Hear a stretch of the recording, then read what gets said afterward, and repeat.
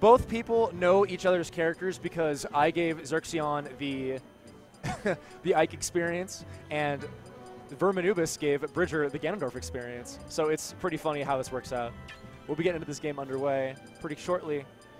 And I do believe that Zerxion, ooh, going Mewtwo. This is an interesting turn of events. Haven't seen that pop up in a while. Bridger rocking the normal Ike. Arion working the shiny Mewtwo, or the shiny-esque Mewtwo. That tail needs to be a little greener, but it still works out. We'll see what kind of cool tricks Zerxion has pulled off on his Mewtwo. Mewtwo not seen as one of the better characters in this game. Definitely a uh, somewhat low tier. He's got some interesting options, but he has a little bit to be desired in the weight department and killing potential off of fast moves. Bridger getting in with a quick jab to quick draw and gets the up smash. Platform check chase. Good grab. Does not follow up on it though. More jabs to get off pressure, using quick draw to close space.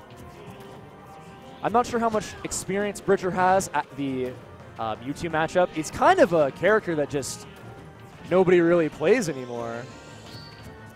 Fully charged Shadow Ball, ready to launch at any point in time for Zerxion. It's a pretty strong move if he manages to get off, and it's very detrimental to Ike's recovery because he needs the sweet spot at the lowest possible section.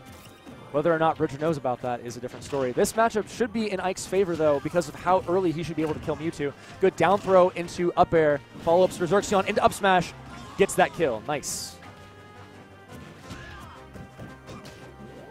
Oh, that was not safe. He probably should have gone for just jab one and jab two, and he might have been fine. Gets trumped, forward smash, and up tilt should take this. Ike's up tilt very strong in this game, getting that kill at 119 on Mewtwo. Very, not even rage needed. Oh no, he took his jump. All that, you hate to see that happen. Zerxion will walk away with that first game. Not necessarily convincing, but it was uh, to be noted that he did get his jump taken. So that's kind of how things plan out sometimes. Oh, I need to switch these around a little bit. My apologies. Zerxion is the one playing Mewtwo. Bridger is playing Ike. Now we got that sorted out on the other side.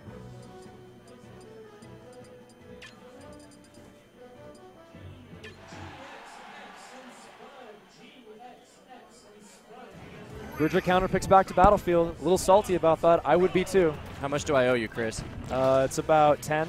Okay. Thank you so much. Bridger had a solid game one, although he did get his jump taken for that recovery and I guess died at a very early percentage. Zerxion had a great combo on him.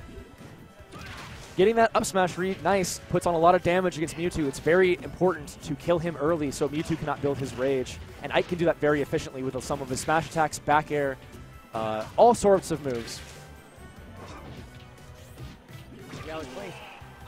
I was playing some with Bridger last night, and he seems to have a solid concept of his character, but he just needs to work a little bit on his fundamentals. Yes. He also lacks matchup finesse, but a lot of that comes with getting fundamentals, of course.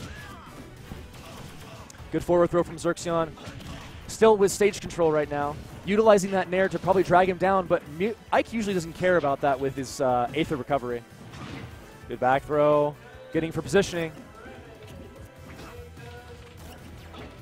Oh no, teleporting around causes uh, causes uh, Bridger to be messing up a little bit. Oh no, too far out. He was he was afraid of the back air from Mewtwo, and it didn't work out. Down tilt to fair, and falling up air does not connect, however. Still able to get that jab tech chase. Dash attack. Is, now he's Bridger's playing a little angry. I can see how. And then Nice, Shadow right. Ball is not going to be very helpful. This this this is done. There are so Yeah. many ways to abuse Ike's recovery when you have projectiles. Well, it's it. it's all about uh, Zerxion will take that pretty pretty convincingly there. Bridger couldn't establish his uh, on-stage game. However, the goal with Ike is really to recover at the lowest possible degree. He Yeah. can't auto snap on the way up, but he can make it so that he doesn't have to deal with those projectiles on the ground floor. Right. This also has to uh, incorporate with characters such as Samus and Lucario as well. And Both. With, and with Mewtwo, it's important to uh, sweet spot right to that edge on your recovery as well. yes. well. He's vulnerable for a good uh, third of a second or something like that. Yeah, after- teleports don't really have the best of options when they're coming back from the from the uh, off screen, from the you know side section over there. We're gonna get another match on here in a little bit. Uh, but that was Zerxion and Bridger. Um, hopefully, one of these other matches now will be super interesting.